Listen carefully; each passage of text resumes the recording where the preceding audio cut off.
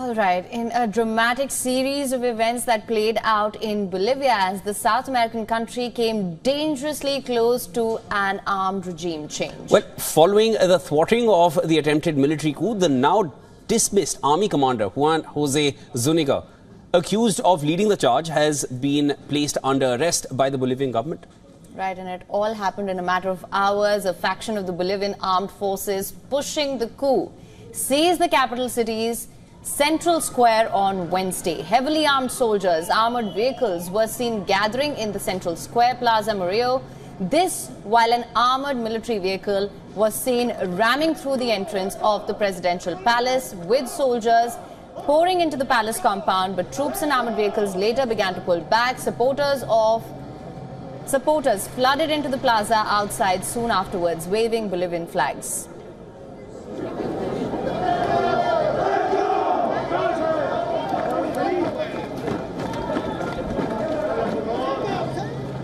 Following the coup attempt against Luis Commander Juan Jose Zuniga was captured and taken to a police vehicle outside a military barrack. Now, Bolivia's public prosecutor's office has stated that a criminal investigation against Zuniga is currently being pursued. President was quick to fill in the power vacuum left by Zuniga's dismissal by appointing new military chiefs right after the incident.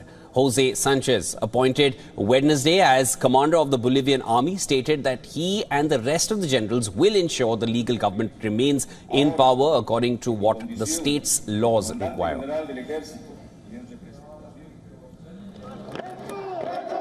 Heavily armed Bolivian soldiers and armored vehicles took over the capital's central square Wednesday, home to the presidential palace and Congress, in what the country's president called an attempted coup. As troops surrounded Plaza Murillo, a military commander can be heard telling soldiers to stand firm. Bolivian President Luis Arce demanded the military action be called off, denouncing what he called an irregular mobilization of some army units in La Paz. In a video posted on Facebook, Arce addressed the nation alongside government officials, calling on citizens to mobilize for democracy and against the coup. According to a Reuters witness, an armored vehicle rammed into a door of the presidential palace and soldiers rushed in.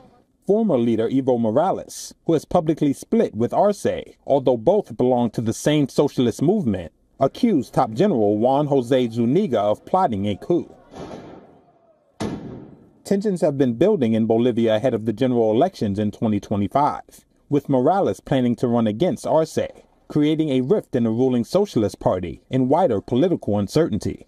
Many do not want a return of Morales, who governed from 2006 to 2019, when he was ousted amongst widespread protests and replaced by an interim conservative government. Arce then won election in 2020.